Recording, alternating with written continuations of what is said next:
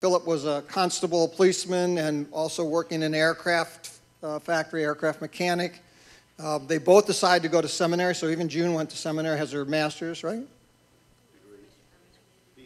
BA degree, and um, they did that in Ireland, and then came here, went to the John MacArthur Master's um, Seminary out in California, and decided to stay there. Apparently, have three beautiful daughters, I understand, and um, are, I'm sure are missing them.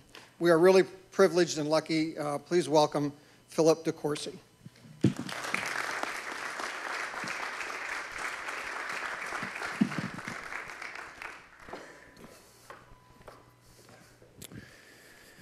Thanks, Jim. Um, it is a joy uh, to be here, as I said yesterday, and now that we've got a day under our belt, it's an, an, even greater blessing and a privilege. I've got to meet many of you around the breakfast and dinner table, and just even sitting in last night on the sessions. I'm thrilled to hear what God is doing in you and through you and the work of CBMC. Um, we trust that as the uh, conference still unfolds, that God will knit our hearts together even more. And as iron sharpens iron, so does uh, the countenance of a friend. And uh, so uh, we trust that we'll feed off each other and, and be enriched uh, by one another. Uh, let me just rehearse again who I am. I didn't do that yesterday. I don't like to do that that much because it's not really about me. It's not really about you. But if, I, if this is simply a testimony to God's grace, then it, it serves some profit. I was born in Belfast in 1961. Had the privilege of being brought up in a Christian home, uh, to which I am indebted to God for that privilege. My mother and father were believers. My father was saved at a crusade by an American evangelist by the name of Jack Shuler back in the 50s. My mother was saved in a Pentecostal church in a prayer meeting, listening to believers pray, and said, If God is this real, and the relationship can be this intimate. I want that. And uh, I'm thankful to them, William and Elizabeth. And uh, they brought me up in the fear and admonition of the Lord. They understood that it was their duty to place me under God's word. Even when I didn't want to go and belly ached and moaned and grumbled, my father didn't cave in like many modern fathers are, to which I'm thankful he understood that heaven and hell was at stake. His son's soul was in jeopardy, and the only release, the only redemption was found in the word of God preached and received. And at the age of 16, came to know Christ as my own and personal Savior at a youth event on Antrim Road in Belfast. Um, the text that God used to bring me to Himself was Matthew 24 44. In such an hour as you think not, the Son of Man comes. And, and what that did for me was I grew up in a Christian environment. I had embraced intellectually the whole thought of God and Christ and the gospel, but had not received it. And in some ways was kind of putting that off. I wanted to taste a little bit of the world. I wanted to exercise uh, my flesh outside the constrictions of a Christian home. And I had this idea, you know, someday. And then that verse walloped me across the side of the head like a two by four, saying, you know, that day may never come because Jesus is coming your way. You better take steps towards his way. And uh, came to know Christ, was baptized, and uh, was received into fellowship at Rathcoole Baptist Church. And uh, then I became an aircraft engineer, did an apprenticeship in uh, aerospace engineering, and during that time also became a reserve officer in the police force in Northern Ireland, the Royal Ulster Constabulary. I'm very proud of my time uh, with those men who stood between a community that could have imploded at any time into civil sectarian war. Um, some of those men are forever etched in my mind. Many of them have lost their lives to terrorism. Their families continue to uh, feel that loss. But those were great years for me. It was a way to flesh out my faith. I, I learned as a police officer in Belfast that security is not the absence of danger, security is the presence of God. And uh, I'm thankful to the Lord that He preserved my life. We were more likely to be killed off duty than on duty. Um, we carried our weapon everywhere we went shopping malls, golf. Even when I preached as a lay uh, teacher, um, I, I, often preached uh, with a 9 millimeter stuffed down the back of my suit pants because you didn't know if these guys were waiting for you outside the church or on your way home. But God was good, such was life. And, and, and I think it's given me a perspective too on what our nation is facing. Um, we need to resolve as a nation here in the United States to face the ongoing threat of Islamic terrorism. It won't go away. And if you don't have the guts to fight it, it will destroy you. Because they're far more, far more committed to their cause than we are to ours. And it takes a resolve and a tenacity to, to see that kind of war to come to some kind of resolution. But during those years, I met my wife, June, through her brother Robert. June's from Scotland. Uh, in Glasgow. Uh, came over. She went to a Presbyterian school. I went to a Baptist school after feeling God's call into the ministry. And uh, God knit our hearts together. I'm so thankful for her. She loves the Lord, loves the ministry, is a servant both to me and our girls and to our, our church. Uh, we have three daughters. Um, Angela's 19, and uh, she's a sophomore at Masters College in California. And our, oldest, our youngest two, um, 17 and 15, are at Villa Park High School in Orange County. And we're presently at Kindred Community Church, loving it, where Mark and, and Ron Bundy and Leslie go. It's a vibrant church in the Anaheim Hills. So if you ever visit Disneyland or Knott's Berry, you're only 20 minutes away from our church, so you know where to come when you're in Southern Cal. We'd love to provide you hospitality and a, an oasis of Christian fellowship. And uh, we're loving it. And uh, as, as Jim hinted, I originally came out 13 years ago to go to Master's Seminary. I'd done three years in the Baptist College. I'd pastored a Baptist church for five. But in God's goodness, He uh, connected me with, I believe, one of the, the, the leading uh, expositors of our day, uh, a great Christian leader, John MacArthur, who stands for the truth and understands why the church exists in the world. And I went out to Master's Seminary, and you might say, well, you know, why?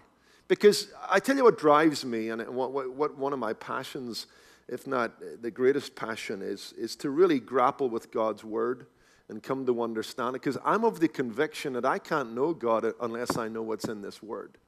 And, and take this for what it's worth. Be careful in, in how you communicate. Don't ever separate the living word from the written word. You can't know the living word without knowing this book. Jesus said, If you abide in me and my words abide in you, you'll bring forth much fruit. You and I can't know God apart from the revelation we find in this book. And so let's hunger and thirst. Let's know our theology. Let's uh, understand biblical doctrine and make it experiential. I understand what we were trying to say, but be careful about putting the book over here and Christ over here. He never did that, and neither should we. And that's what drives me. I want to understand this book because, as a professor said at Master's Seminary, the greatest tragedy and the greatest travesty is what? He said this to us. Dick Mayhue was his name. He held the book up and he said to us at the seminary at Masters, he says, Guys, you want to know what the greatest travesty is? To take an inerrant Bible, which tells us about a sinless Christ, and preach it with error. That's the greatest travesty. To take an inerrant Bible that preaches about a sinless Christ and to teach error. And that kind of drives me um, continues to hold my feet to the fire, why I, as a working pastor, make sure that I have enough time to close my study and read the scriptures and prepare uh, to feed my people. Jesus said to Peter, Feed my sheep.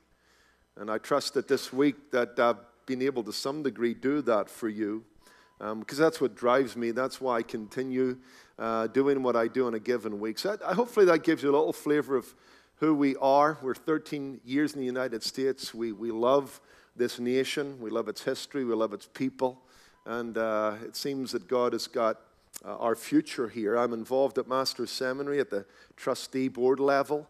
I'm excited to be part of a school that's producing uh, a new generation of men who will go across the world for Christ and preach the unsearchable riches of Christ, uh, who are not ashamed of the gospel because it is the power of God unto salvation. So, as the Lord lays uh, us on your heart, uh, continue to pray for us in our ministry at Kindred Community Church. Hopefully, we'll have a website up soon, which will have all our ministry and the sermons you can podcast and download. So, if that's of interest to you, just maybe mark that Grace Community or Kindred Community Church in Orange County. Well, I trust indeed that what we've already shared together will be an encouragement. As I've just said, it's, it's my role fundamentally to um, communicate God's word accurately to you. And I trust there is no miscommunication. Miscommunication is a, is a, is a dangerous thing. Let me share a, a funny email that somebody sent me about a, a couple in Minneapolis who uh, were tired of the winter. You know what it's like up there, and, and they decided, you know, we need to get out of this place. for a few days, and, and so they decided to go to Florida. In fact, they decided to go back to the hotel they had honeymooned in so many years before. But because it was a kind of a last minute thing, when they, when they Googled for some flights, they, ha- they ended up getting separate flights, and the husband left before the wife. And so he got down um, to Florida on the Friday, and uh, he checked into the hotel. He, he, he remembers it. Uh, you know, from so many years ago, things had changed a little in terms of decor. And one of the additions to the rooms were that it, every room had a computer, uh, had access to the internet. And so he decided to send an email to his wife. But he accidentally left out one of the characters in the email address. And when he punched the send button, he sent an email to the wrong address. Meanwhile, somewhere in Houston, Texas, a widow had just returned home from her husband's funeral. He was a minister. He had been called home to glory after suffering a, a heart attack, and she decided to check her email to see if anybody had left any messages of condolence who hadn't yet got to the, the funeral. And uh, she opened this errant email from this guy in Florida. She let out a scream and fainted. Her, her son came running into the room, found his mother on the floor. He scratched his head for a moment until he glanced up and saw the computer screen message and he read it. And here's the message. Now, I remember, it's come from a stranger. Her husband has just died. Here's the email To my loving wife, dated Friday, October 13, 2005. Subject I have arrived. Dearest love, I know you are surprised to hear from me, but they have computers here now. and you're allowed to send an email to your loved ones. I have just arrived and have checked in. I see that everything has been prepared for your arrival tomorrow. and I look forward to seeing you then.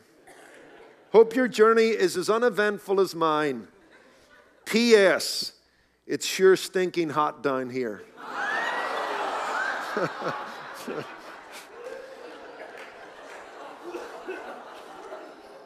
well, miscommunication's a dangerous thing. And so I trust that uh, we'll be led into all truth by the, the Spirit of God as we turn to the Word. Let's take our Bibles and turn to, to Proverbs 17. Just working with the leadership uh, in, in, in preparing for the conference, we, we're taking up the theme of kind of, in, in some sense, uh, as an organization and as a movement, for you guys to get back to basics, for to be reminded of your core commitments, of your original values and your original visions that, that set, set this movement moving in the first place. And that's always a good thing. Um, I think it was uh, uh, Lou Holtz of, of uh, Notre Dame who, after the Irish get smashed in a particular game, next day at the training session, he asked the team to take a knee. And as they took a knee, he held up a football and said, Gentlemen, this is a football. You know, getting back to basics, starting with the fundamentals. Because fundamentals win football games, fundamentals help us do good ministry. And certainly, you have at your core some great fundamental facts and factors that will indeed um, act as both an anchor and a rudder for your ministry. I think it was Warren Wiersbe said that, that the past uh, should act both as an anchor and a rudder. The past, uh, we hold ourselves to the past, and yet we learn from the past as we we move forward. And I trust as we go over these core values that they will indeed act as an anchor and a rudder for you as a movement seeking to bring God's grace into the workplace. And so the theme this morning is kind of one on one relationships. Um, in some sense, it's a broader theme than that. I want to take up the theme of, of satisfying, sanctifying relationships. What does it mean to mentor one another? What does it mean to befriend one another? What does it mean to um, shape the soul uh, uh, of another saint. Um, and I want to take up the theme of friendship from the book of Proverbs. If yesterday's message was entitled The First Place, today's message might be entitled That's What Friends Are For.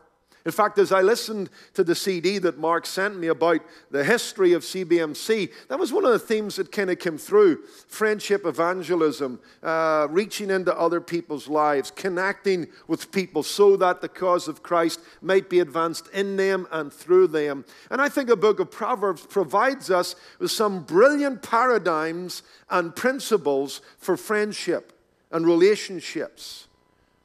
The book of Proverbs is a toolbox to help you and I construct a successful life. I've done a, an extended series in the book of Proverbs. I'd love to preach sometime to you or, or, or whoever God uh, would allow, allow me to because there's so many themes from the workplace to relationships with your wife or your spouse to, to, to, to uh, dealing with uh, others in difficult situations. And, and uh, the word hokmah is, is the Hebrew word for wisdom. And it's interesting, back in the book of Exodus, it was used for the, the, the, the, the men who built the tabernacle, those who were skilled in, in different arts and crafts.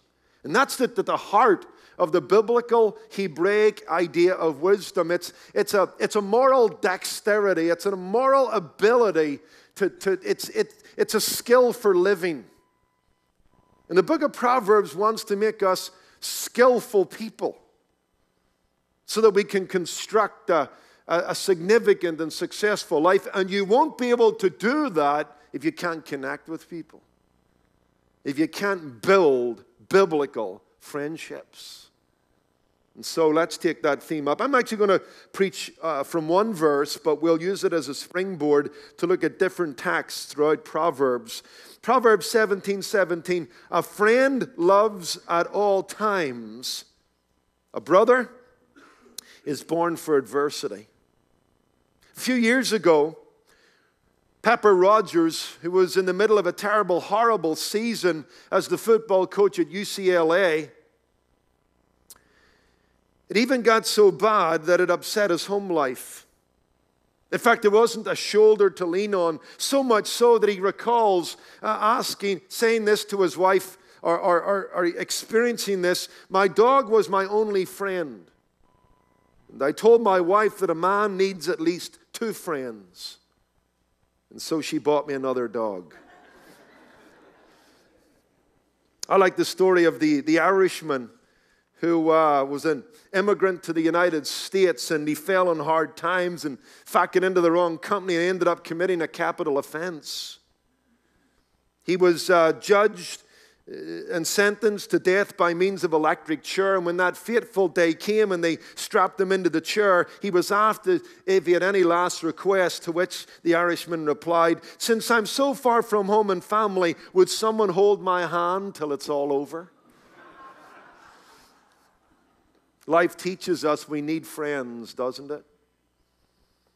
The counsel, the company, and the comfort of others is an indispensable, inescapable part of the human experience. In fact, I would, I would go as far as to say this we cannot be all that we might be without the help of others. John Milton said, Loneliness is the first thing that God's eye named not good. Remember that back in, in Genesis chapter 2, verse 18? What did God say? It is not good that man should be alone. It's not in our DNA to live isolated uh, lives. It's in our DNA to enjoy friendship and fellowship. That's why Ecclesiastes 4 9 says, Two is better than one, because we were created by God to be born into relationships that are designed to help us reach our potential. We were created in the image of God. We were not built for isolation. We were not made for, for social or spiritual um, isolation. We were built for communion with God. We were built for community with each other. It's interesting, back in Genesis chapter 1, verse 26 and 27, what do we read? Genesis 1 26 and 27. Then God said, Let us, there's the hint, uh, of, a, of the Trinity early on in the, book, in the book of Genesis. Let us Make man in our image, according to our likeness. Let them have dominion over the fish of the sea, over the birds of the air, over the cattle, over all the earth, and over every creeping thing that creeps on the earth. So God created man in his image. In the image of God, he created him, male and female, he created them. The soul of man has been stamped with the image of God, and God exists in community. This is 101 anthropology. A biblical view of man is that man is created in God's image. God has stamped something of himself upon us. And as we live, we reflect who He is to some degree. And one of the ways we reflect the image of God is that you and I were made for robust relationships. Because God exists in a triunity of persons the Father, the Son, and the Holy Spirit, indissolubly one in nature, distinct in person, existing in community and communion with each other. God is a society unto himself. That's a thought worth pondering. Therefore, life was not meant to be lived as a solo performance. God lives in society. And you and I were made for community and for communion. Two is better than one. God has so fashioned it that we cannot become our true self or our best self without the help of others. And let that underpin all that CBMC tries to do through life on life relationships. You've got it right. This is a fundamental reality that starts with the image of God in man. What we are becoming at any given moment is determined by our relationships with those who love us, refuse to love us, with those we love or refuse to love. We are able to exist, persist, consist, or resist on the basis of our friendships. I like the story of the old boy from the backwoods who tried to enter his bone lazy donkey in the Kentucky Derby. He was refused by the organizers and told in no uncertain manner that donkeys are not allowed to enter this race, which is reserved for, for premier horses only. They told him, Do you, do you not see this? And, and plus, even if it was allowed to enter the race, it, it could never win. The man said that uh, he didn't realize that uh, donkeys couldn't enter the race. But even if, they, even if that were overlooked, he said, I wasn't entering him into the race to, to win it. I was entering him into, into the race because I thought the association would do him good. Association does us good. That's why we want to turn for a few moments and look at this whole idea of, of friendship. I want to base my remarks on Proverbs 17 17. A friend loves at all times, and a, a brother is born for adversity. There's three things here we, we want to see about friendship that will remind us that you and I cannot be happy and we cannot be wholly away from people. First thing I want us to see is what I might call the circle of friendship. Then we're going to look at the character of friendship, and then we're going to look at the constancy of friendship. And as you men think about your disciple relationships, or you mothers think about your kids and the friendships that you want them to start and to develop, bear in mind all that we're going to say uh, this morning. First of all, the circle of friendship. A friend loves at all times. The text assumes that you and I will exist and extend ourselves within a circle of friends. It assumes that we understand that we're like Lego. We are made to be joined together as a reflection of our humanity, as a reflection of those who have been stamped with the image of God. In fact, if you think about this, you, you can't think about one biblical character without thinking about another. When you think about Moses, who else do you think about? Joshua. When you think about David, who else do you think about? Jonathan. When you think about Peter, who else do you think about? James and John. When you think about Barnabas, who else do you think about? Silas. When you think about Paul, who else do you think about? Timothy. See, the Bible assumes that a well rounded life will be lived within a circle of friendship. And so you and I want to think about that for a few moments. What does that entail? What does that involve? To live in a web of redemptive relationships. Because we can never be our best self without the help of others. We can never be holy and happy apart from people. Monasticism got it all wrong. But there's two principles or two thoughts I want to develop here. What I call a principle of development, and then what I call a pattern of discernment. Follow me here for a few moments. Turn in Proverbs 18, verse 24. I'm going to work you this morning, so make sure your Bible's open. Write these proverbs down because we're going to we're to move through this pretty fast and you'll probably want to come back to these verses and, and go over them again in fact you'll probably want to share this both in your mentoring relationships and with your family now there is a debate among uh, um, grammarians as to the rendering of this verse. I'm not going to get into this. I'm going to run with how the New King James translation goes with this, this Hebrew text. If you've got another version, you might see it differently translated, but this is a real possibility. Proverbs 18:24 A man who has friends must himself be friendly. Now that's a good proverb. That's a good maxim. That's generally true. Remember, Proverbs are not cast iron guarantees, they're not promises. They are the observations of wise men in the community of Israel who have looked at life and reflected upon it theologically and theistically, and they've come to these general conclusions. And here's a good general observation about life a man who has friends must himself be friendly. That's what I call the principle of development. And you need to apply this both in what you're doing in the lives of men and what you're wanting other men to do in the lives of others. You have to be a friend yourself before you will have friends. Before you work on someone else, make sure you're working on yourself. That's key to mentoring. That's key to uh, biblical friendships. If you're not friendly, you will be friendless. See, we tend to make this mistake. We think that friendships and relationships start with meeting the right person. Wrong. Uh, wrong. It starts with being the right person. In fact, teach that to your teenager. They need to be the right person. They need to work on themselves. They need to be the best that they can be. Because he that will have friends must himself be friendly. Quality friendships begin with quality people. Friendship, in part, is based on attraction. And therefore, you must be attractive.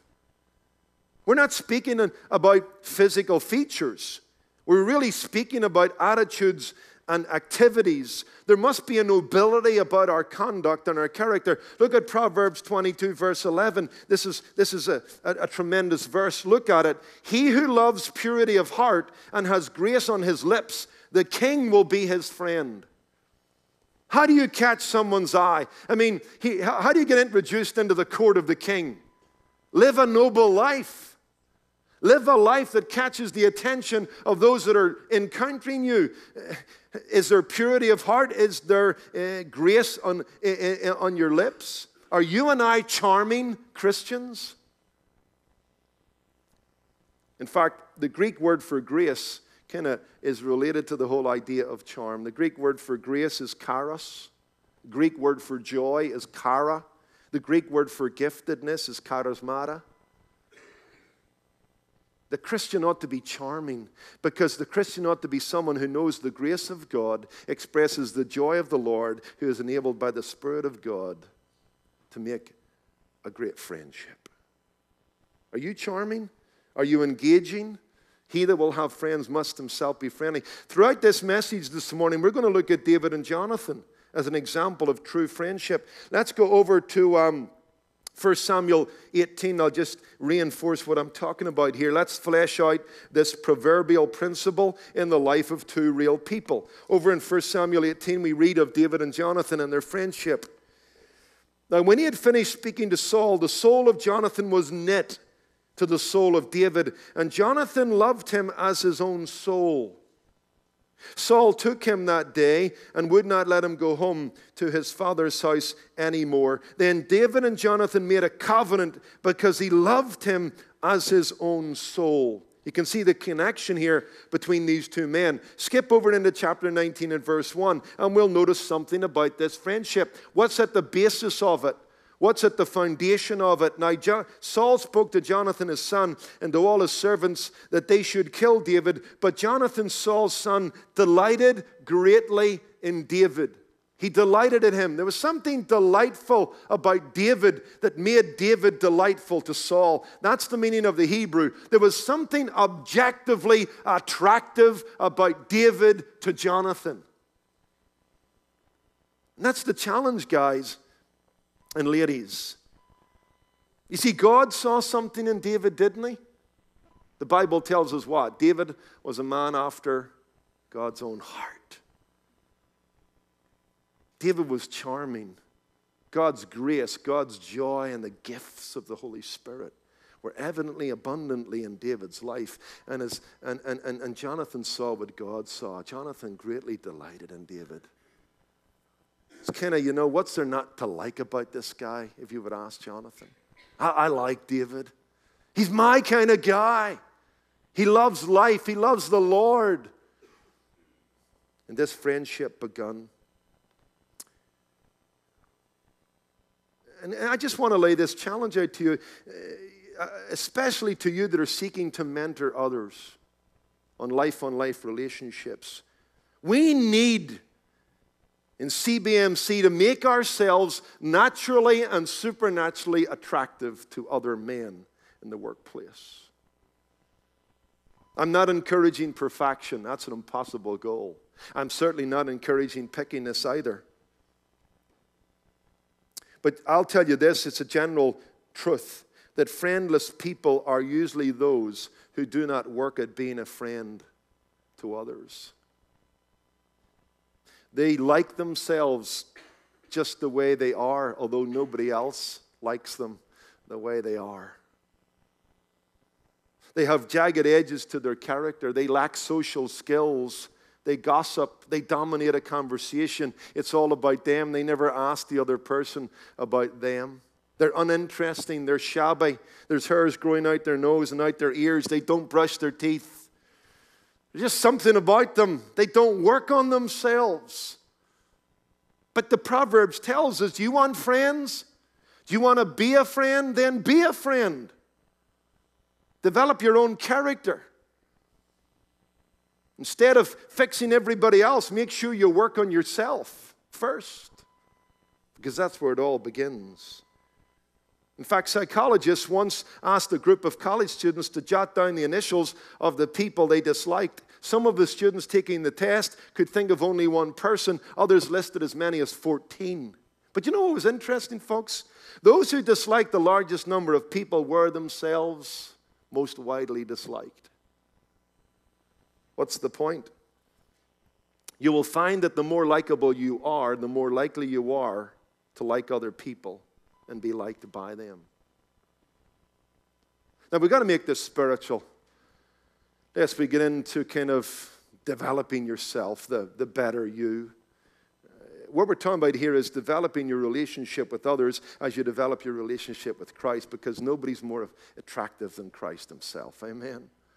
And as you put him on display, as you work at developing a Christian character that's charming and engaging, you'll find that you'll become a magnet in God's kingdom, and God will give you opportunity after opportunity to impact others' life on life. In fact, I wrote this down one day what to wear when meeting a friend. Write this down. What to wear when meeting a friend. I want you to think about this. The next appointment you have with some guy through CBMC ministry or, or a new contact you're going to follow up, how ought you to dress in meeting this person? Tell you number one, Romans 13, 14, put on the Lord Jesus. Isn't that what Romans 13, 14 says? Put on the Lord Jesus and make no provision for the flesh. Here's what we read in Titus 2, verse 10 adorn the doctrine of God. That word adorn is a, is a very engaging, dramatic Greek verb that carries the idea of, of beautify. It's, it's, a, it's a cosmetic term. Man, we, we, need to, um, we need to take the doctrine of God, we need to take our evangelical beliefs, and we need to um, exhibit them on the catwalk of life. People need to see that we live what we believe. That's what James thesis is, isn't it? In his letter. You say you've good faith, show me your works. Even the devils believe. Devils, you know what? This is the amazing thing. Demons are orthodox in their theology. But they're not saved or regenerate, are they? And Paul, James says, no, you got to flesh this thing out. Faith has got to be fleshed out in works, and doctrine has got to be shown in behavior. So put on the Lord Jesus, adorn the doctrine of God. Ephesians 4 20 to 24. Put on the new man, created in, after Christ. No, you and I have lived up until the moment of our conversion a certain way. We've lived without God. We've done our own thing. We've been the masters of our own fate, the captains of our own souls. That has all changed. Now there's a new life principle Jesus is Lord. And so it's our job to put off the old man and put on new man, to live a different life. 1 Peter 5, verse 5 be clothed with humility. Be clothed with humility. Proverbs 31, verse 25, we read that the, the wise woman and the godly wife is clothed with strength and honor. And then in Isaiah 61, verse 3, what do we read? That that he gives the oil of joy for the spirit of heaviness and he gives the garments of praise. Put all those things on, would you? Jesus, doctrine, the new man, humility, strength, and honor, and the garments of praise. And you'll be an effective mentor. You'll be an effective witness and a good friend to those who come into your con- contact. A wise old farmer was working beside the road when a family moving uh, was moving to a nearby town. The nearby town stopped and asked him if the town was friendly. The farmer said he didn't really know how to answer that. The people pressed for an answer and said, You know what? We really need to know if this is a place where we would want to settle. The old farmer asked them, Well, tell me this what was the town like from which you came? To which the people replied, The people were rude and small minded. The old farmer looked at them and said, You know what? That's how you'll find this town. You get the point? See, they brought their baggage with them. They saw in others what was really just a reflection of themselves. If you're going to have friends, you yourself must be friendly. That's the principle of development. Uh, let me just touch on the pattern of discernment. I don't, have, I don't have time to develop this, but it's, it's an important theme in the book of Proverbs. Seeking a friend and seeking to be a friend is not the same as seeking to fit in with everybody at all costs. Friendship takes development, but it also requires discernment. Friendship should be held under lock and key. Look at some of these verses, they're very interesting. Proverbs 13, verse 20. He who walks with the wise will be wise, but the companions of fools will be destroyed. Proverbs 27, verse uh, 17. As iron sharpens iron, so a man sharpens the countenance of his friend. We read in 1 Corinthians 15 33 to go outside the context of, of Proverbs that um, bad company spoils good morals. so the book of Proverbs, in talking about friendship and relationships, warns us that there are relationships that are destructive, damaging, and they're to be avoided. Therefore, not everybody can be our friend. Not everybody should be our friend. Look at this verse, Proverbs 12, verse 26. It'll, it'll drive the nail home. Proverbs 12, 26. The righteous should choose his friends carefully. Now, we'll get to this in a moment because I'm running ahead of you. I know what you're thinking, but what about the fact that Jesus is a friend of sinners? We've got to make a distinction between what we might call friendship evangelism and true biblical friendships, they're not the same. We must use the word friend in two different ways there. But when it comes to true Christian mentoring relationships, you and I uh, need to choose our friends carefully. The word choose here, it was used of a man who would search out his a, a, land. He would evaluate it. He would select it prudently and enter into the contract carefully. And, and so the word of God is encouraging us, okay, you want to be a friend? You want to have friends? Okay, start with yourself. And then, secondly, be careful who you're about to invest your time and your energy and your reputation with. Choose those friends carefully because there are two kinds of people in this world there are VIPs and there are VDPs. There are very important people whom God sends to develop us, and there are very dangerous people who the devil sends to destroy us. Spurgeon said, A man is known by the company he keeps as well as by the company he shuns. We need to make friends with those who are good for us spiritually and socially. Psalm 119 and verse 63 is a favorite verse of mine. Psalm 119, 63. I am a companion of all who fear your name. Isn't that a beautiful verse? So we need to we need to act wisely. We need to be discerning. We need to hold our friendships under lock and key because a healthy man cannot communicate his health, but a sick man can spread his diseases. Now, I don't have time to go into these, but if you're taking notes, there are a number of people that the book of Proverbs tells us to avoid. Proverbs 22, 24 to 25, we're to avoid the hot tempered person. Proverbs 19, 6 and 7, we're to avoid the opportunistic person. In Proverbs 20, verse 19, we're to avoid the loose tongued person. In Proverbs 24, 21 to 22, we're to avoid the disloyal person who's always changing. In Proverbs 28, verse 7, we're to avoid the self indulgent person. And in Proverbs 29, verse 3, we're to avoid the sexually loose person. And guys, it would seem to me, to turn that on its head, if you're mentoring another man, you need to challenge him never to be that kind of person. There are people who are bad news and must be kept outside the circle of our friendships. They're incompatible to God's purpose and plans for our lives.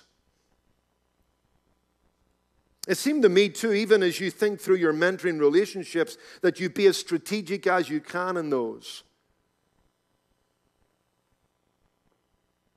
Because there are men who will listen and there are men who won't listen. There are men who will receive and benefit from your time and investment. There are other men who will just use it for their own ends. The book of Proverbs tells us hey, show some smarts here. Be careful the influence of others can diminish us.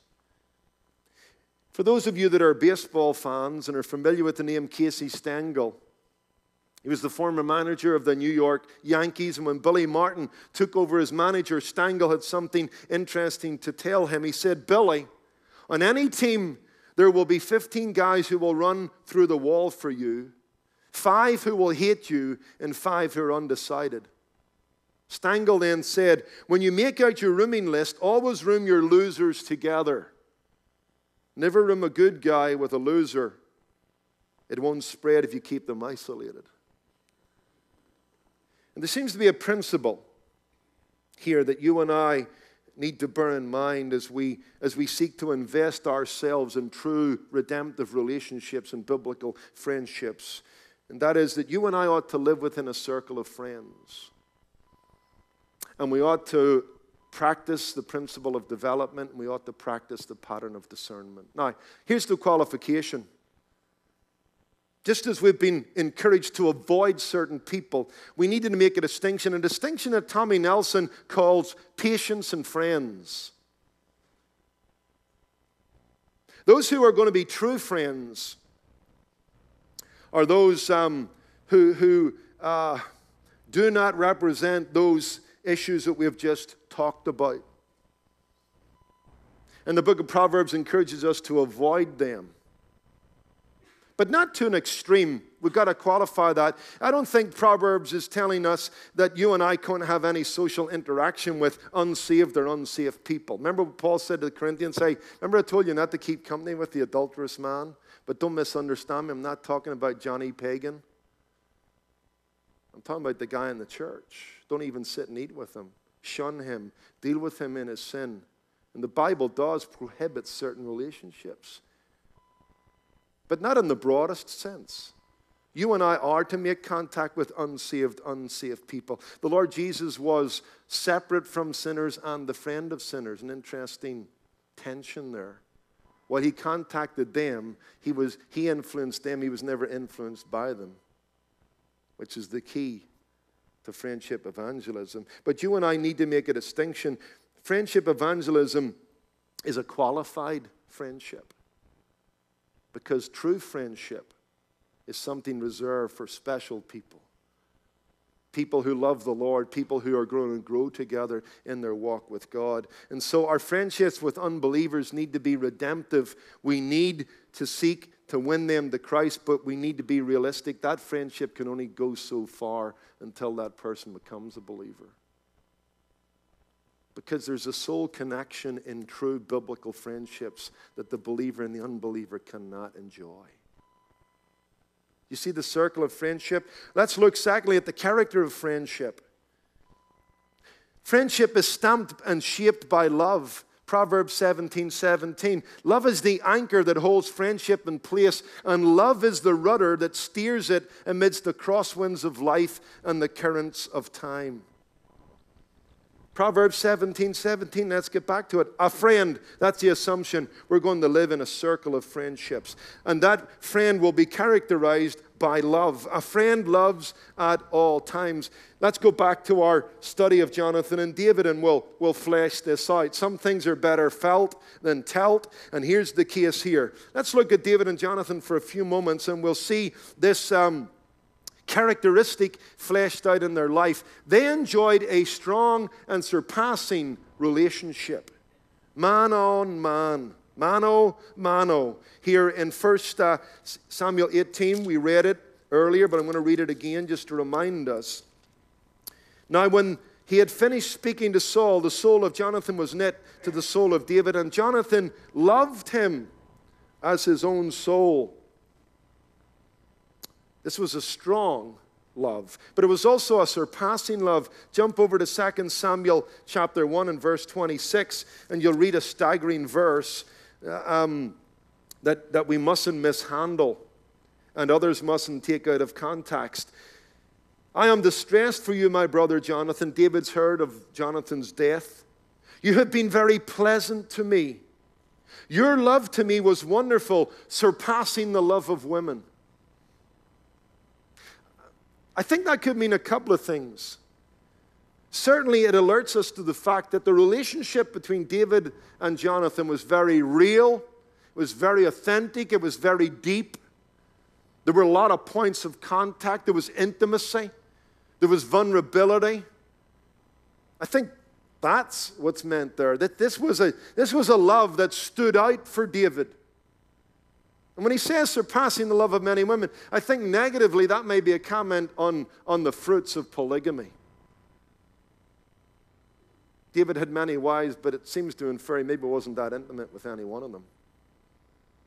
But the point for us is simply this that David and Jonathan had a strong and surpassing love that was biblical, that was godly, that was clean, clean and virtuous. Now, let me take you to an incident and bring out two things about this love that will, that will be a challenge uh, to us in our life on life relationships. I love this. David's on the run here in 1 Samuel 23. Turn to 1 Samuel 23 and, and turn to verse 14. And David stayed in strongholds in the wilderness and remained in the mountains in the wilderness of Ziph. Saul sought him every day, but David did not deliver him God did not deliver him into his hand. So David saw that Saul had come out to seek his life, and David was in the wilderness of Ziph in a forest. Then Jonathan, Saul's son, arose and went to David in the woods and strengthened his hand in God. And he said to him, Do not fear, for in the hand of Saul my father shall not find you. You shall be king over Israel, and I shall be next to you. Even my father Saul knows that. So the two of them made a covenant before the Lord, and David stayed in the woods, and Jonathan went to his own house. Two things here about biblical friendship, what it means to love another man or to love another woman in Christ. Love among friends loves to serve, number one. And then love among friends loves to sacrifice, number two. Or, or strengthen would be the other word.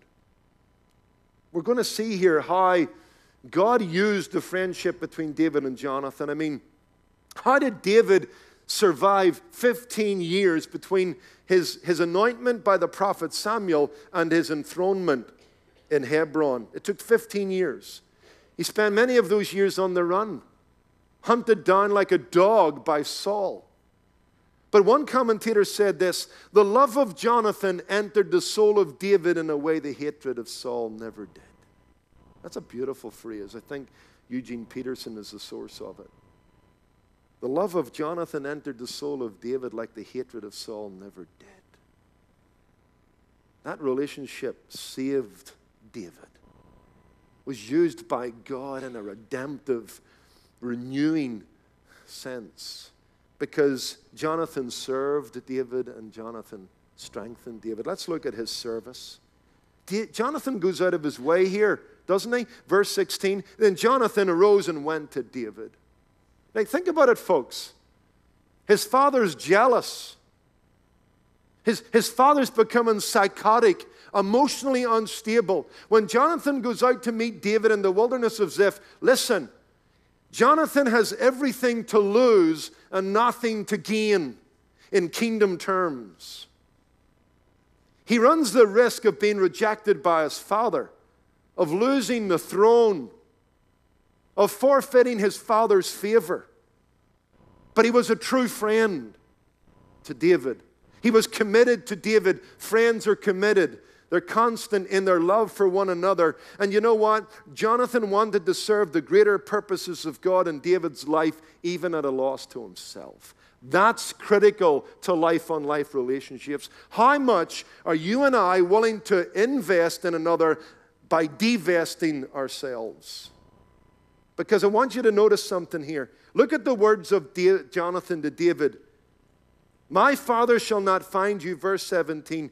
You shall be king over Israel. Who was heir apparent? Jonathan. He was next. But he understands that God's got something special for David, that he's a man after God's own heart, that God has rejected the house of Saul. That the kingdom program's moving in another direction. And you know what, folks? He's got the humility and, and he's got God's glory at the center of it all. He's willing to step aside and let David step up. What a principle. In fact, if you go back to chapter 18, verse 3 and 4, you, will see this in a, in, in a very special way. Then Jonathan and David made a covenant because he loved him as his own soul. And Jonathan, verse 4, chapter 18, took off the robe that was on him and gave it to David with his armor, even his sword, his bow, and his belt. It was almost like Jonathan inaugurates David there, symbolically. All the, all the insignia of power and prestige, he takes it off and he gives them gives it to Jonathan or to David. It's an act of self emptying, it's an act of self effacement that almost prefigures the Lord Jesus Christ stripping himself of reputation and glory and coming in the form of a man in the great kenosis of Philippians chapter 2. How does Paul motivate the Christians at Philippi to think of others more than themselves? To esteem others before themselves. Let this mind be in you that was in the Lord Jesus. It was one thing, my friend, for G- Jonathan to take off his robe. It was another thing, my friend, for Jesus Christ to veil his glory and suspend the arbitrary use of his divine prerogatives.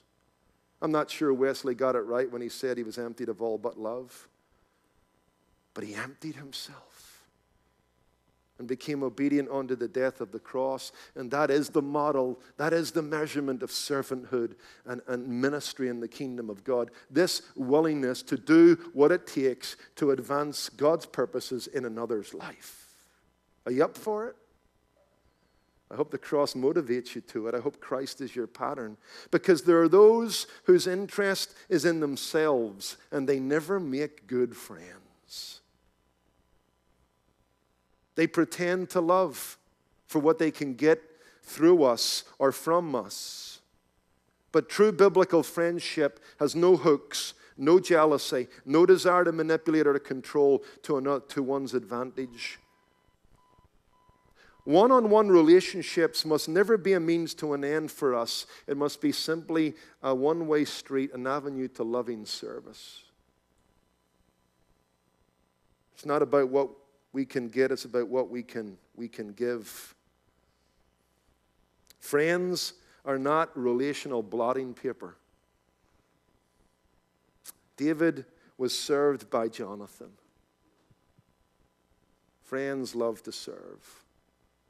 May God enable us as we look at the cross and the great humiliation and condescension of our Savior May we give ourselves afresh to investing ourselves in others by divesting ourselves, by losing time, money, whatever it's going to take to advance God's purposes in their life. To take joy in the fact that God might use them singularly more than He ever used us. To step aside and let God do His work through us. A bit like um, Gary Player, who uh, was caught in a large thunderstorm playing around a Gulf once, and uh, a, a, lightning bolt near, nearly struck him. And later on that day, he said, I learned that when God wants to play through, you better let him. well, my friend, when God wants to play through, let him. Jonathan learned that. How difficult, I've tried to grasp that. How difficult must that have been for Jonathan? But what humility as he measures out his love to this friend and says, Hey, you're going to be next on the throne, and I'm going to stand next to you. I'll carry your case if that's what it means to bring glory to God and advance his kingdom. That's countercultural. We live in a culture that prizes the individual's rights over community. We live in a culture where personal choice is preferred over social responsibility. We live in a culture where goods and things are more important than people. That's the business world, but CBMC seeks to be redemptive and countercultural in that world and to remind itself and others that God's people don't love things and use people. We love people and we use things for God's glory. Here's the second thought Jonathan was a friend to David, and he showed it by his service. And then he showed it by his ability to strengthen him. Love among friends loves to serve, and love among friends loves to strengthen. Let's go back to 1 Samuel 23.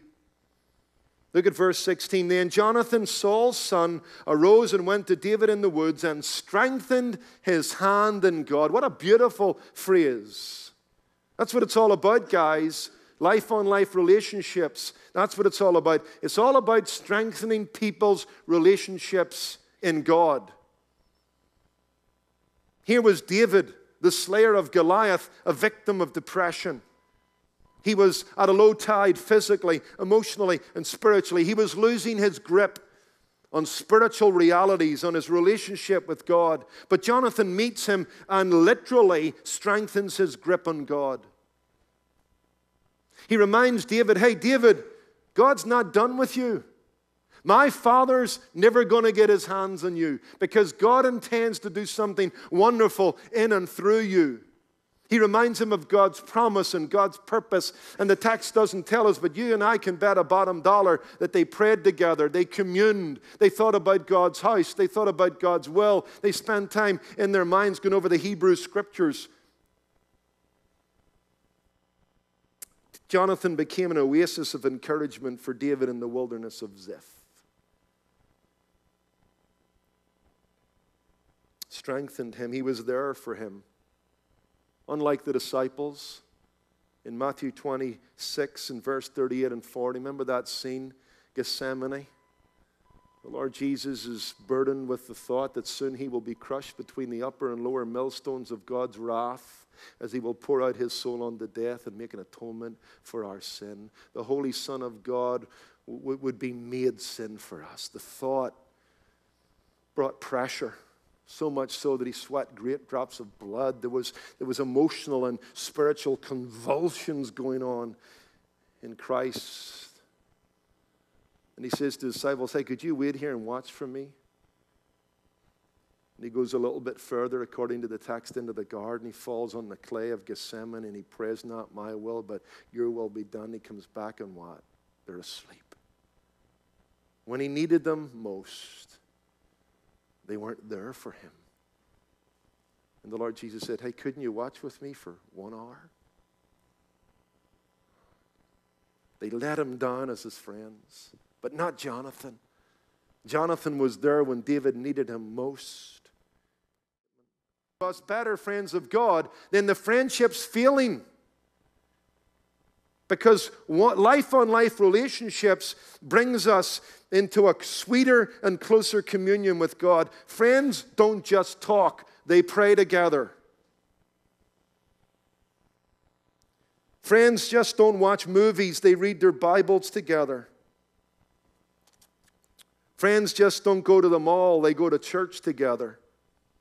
Because their relationship with Christ feeds and fuels their relationship with each other they cannot be to each other what they ought to be to each other without their friendship with Christ Himself. And I just want us to get that again. I, am speaking to the choir. I'm singing your tune. You guys do this, but I just want you to remind yourself why you do it and how important it is. You, in your friendships with other men, must make them better friends of God. That's the whole end of friendship. That's the whole reason you're in the marketplace to bring men into a closer contact with God. True friendships drive us to God, false friendships make us slaves of other men. Acts 20, verse 30, Paul warns the church that there'll be certain false teachers who will make disciples after themselves. It's not about making men lovers of CBM. It's not about getting men onto our team. It's about gripping men, helping men get a grip of the kingdom. And God very well way direct them to CBMC. But it's about getting them connected with God in a real, authentic relationship in Christ. I like the story, and we'll get to the last point of the, the guy who was doing a research paper on the Navajo Indians and he got to uh, the camp and he couldn't speak a word of Navajo, and he befriended an old woman who couldn't speak a word of English, but there was a connection. He spent some months doing his dissertation on their customs and, and their tribal networks. And, and after some time, he began to learn a little bit of broken Navajo, and the old woman picked up a little bit of broken English. When the research was done, he was about to leave the camp, and get into his pickup truck and go back and write it all up. When the old woman came and in cupped hands, she, she uh, placed them on her, his cheeks and with tears in her eyes, she said this I like me best when I'm with you. Oh, that others would say that of us. I think David could say that of Jonathan. Oh, Jonathan, I, I like me best when I'm with you. I'm amazed that you would serve me so selfless. And, and you know what, Jonathan? It's, I can also tell it's really not about you. You're, you're, you've got my best interest in mind. You, you keep pointing me to God. You stretch me theologically. You make me go deeper into the Word. You cause me to get out of the shallows of my communion with God and go deeper into intimacy and prayer. You challenge me about my, my relationships and, and my sin issues and, and how I need to be a more holy man. Jonathan, I like me best when I'm with you because I'm becoming more like God, not like you. What about the constancy of friendship? Time's gone. But let me just pick up at least one thought here. I had two, but we'll, we'll sacrifice one. But in Proverbs 17 17, what do we read? A friend loves at all times. That's the mark of true friendship. Friends are to be faithful to the end. Look at Proverbs 27 and verse 10. It's a beautiful proverb. Listen to this Do not forsake your own friend or your father's friend. An interesting proverb, isn't it? That actually ties into one of our other cornerstones generational reproduction. Friendships should be generational. Maybe some of you have enjoyed this. Maybe later on you can share it with the wider group. You've actually started a mentoring relationship with a man, and now it's carrying over into his son. You're beginning to see the ripple effect of God's using you in his service across the generations. Because that's what friendship's about. It's about faithfulness over the years, it's about constancy over the months. There's nothing disposable about biblical friendships. We don't have time to go back to it, but in 1 Samuel 18, verse 3, and 1 Samuel 20, verse 42, the friendship between David and Jonathan was described as what? A covenant. It's a sacred thing to invest yourself in another's lives. The Bible frowns upon post it note relationships that are simply a mild attachment easily broken. Genuine friends can be relied upon.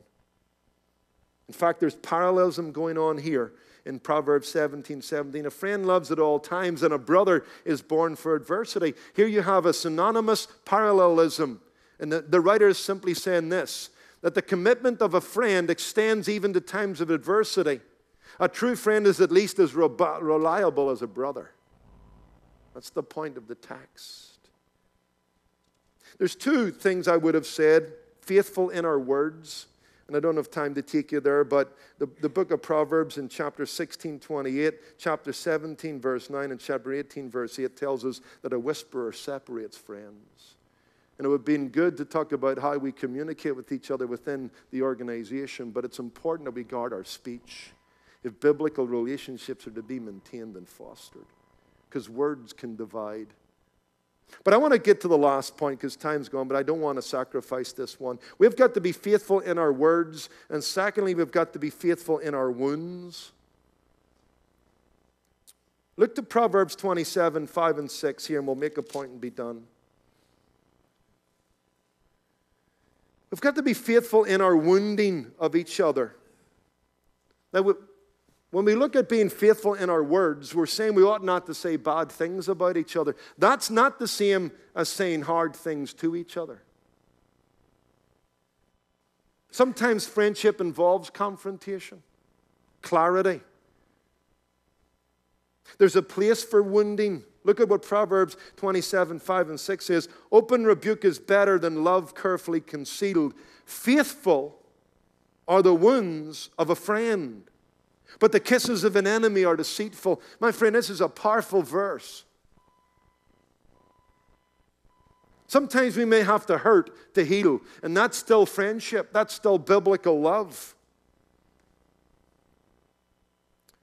Sometimes we have to be willing to go under the knife of a friend's cutting remark, a friend's stinging admonition, because you see, the end of friendship is not to please another, it's to see God's pleasure in another. Sometimes we need to confront one another. We become an enemy to ourselves and friendship when we fail to be willing to wound. A rebuke, kindly, proportionally, and prayerfully administered, is a blessing. Because our friends are like sandpaper in God's hand. They're used to rub off the rough edges of our character and our conduct. Look at verse 6 here. Faithful are the wounds of a friend, but the kisses of an enemy are deceitful. Do you see the parallelism here? Don't miss it. A friend, an enemy. A wound, a kiss. Faithfulness, deceitfulness. Here's what one writer says Kisses may come from an enemy while wounds come from a friend. Yet, how easily we would accept the kisses and reject the wounds. We are so afraid of pain. Is that not true of our culture? Bloated on self esteem, bloated on giving people the idea that they're better than they really are. Our school system is inflating our scores. Instead of teaching our kids the three R's, we've got them doing creative spelling so that nobody flunks. How ridiculous. We're training our kids to be losers, and we're giving them the idea that they're winners. How mad is that? How silly is that?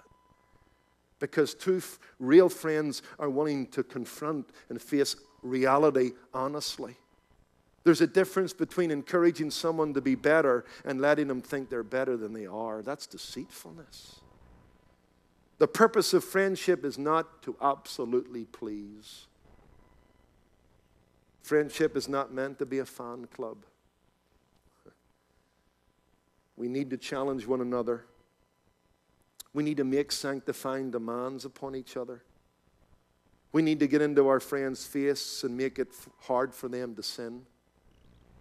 We need to challenge them to the beauty of holiness in a morally ugly world. We need to urge them to stop falling short of the grace of God. We need to warn them about the allurement of the world and that they can't be a friend of the world and a friend of God at the same time. That's what friends do. Friends challenge one another to be more than they are so that they can be all that God has saved them to be. Is that what you're involved in? On life on life relationships? I hope so. There's a difference between an admirer and a friend. Don't be an admirer as a mentor, be a friend. Admirers love us for our own sake because they want something from us. Friends love us for heaven's sake because they know God wants something more from us. Sometimes they have to wound us and challenge us and cause us to be uncomfortable about ourselves. But that's okay. We need to be faithful in that, don't we? We need to be um, constant in our friendship. Constancy is not easy sticking to it's not easy either. One of my favorite stories, and we'll close, comes from Irish history. He's on the wrong side of the fence politically to me. He was an Irish Republican. I support the British presence in Ireland.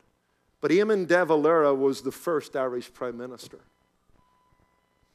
He uh, wanted the British out of Ireland. He often spoke about it when the British were still in the Republic of Ireland.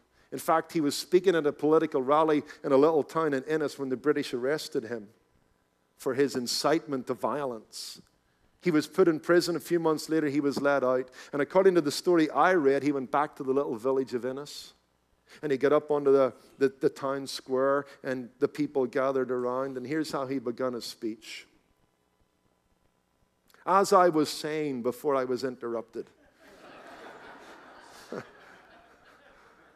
It's a great story. Friends love at all times. There's many things that can interrupt that process of satisfying, sanctifying relationships. But let's stick at it. God has called you as a movement of men and women to life on life relationships. Starts with you and I developing our character because we can't persuade others of that which we're not persuaded ourselves. We've got to be what we want others to be. Friendship begins with us being true friends and being a friend of God so we might be a friend to others for God. Let's make a distinction between our friendships with the world, which are qualified and limited, compared to our friendships within the church, which are deep and everlasting and require discernment. Let's serve one another and strengthen one another, and let's do it constantly, even through the tough times when the wounding and the sharpening takes place. Let's pray. Our Father, we thank you for uh, this subject that lies dear to your own heart. Lord, we recognize that you're a society unto yourself. We think of that intertrinitarian fellowship that marks the Father, the Son, and the Spirit. We read of the Lord Jesus in the Gospels where he could say, My Father and I are one. Such intimacy within the Godhead, such plurality of relationships, dynamic and glorious and holy. And oh God, you've stamped yourself on us, and loneliness is, is something that, that uh, is, is a uh, a danger to the human soul. And oh God, there are those within our reach and those beyond our reach who need us to get into their lives and to fill a vacuum. That we might bring the love of Christ and the life of Christ to bear upon our friendships. Thank you for this ministry and its vision for life on life ministry. Oh God, I pray indeed that what we have learned this morning from the book of Proverbs may, in some sense, be the playbook that we go by as we make the next call on our developing relationships. Lord, sustain us this morning. Continue to uh, bless our own conversations. We thank you for this few days together, friendships begun, friendships cemented. Oh God, even if there's wounding that takes place, Lord, help us to receive that smite. Help us to go under the knife because it's in the hand of a friend. It's not the cut of an enemy, it's the incision of someone who wants, wants to see a heart change. Oh God, make us tough enough to admonish one another. And then, Lord, to uh, grow together in the knowledge and the grace of our Lord Jesus. For we ask and pray these things in his name. Amen.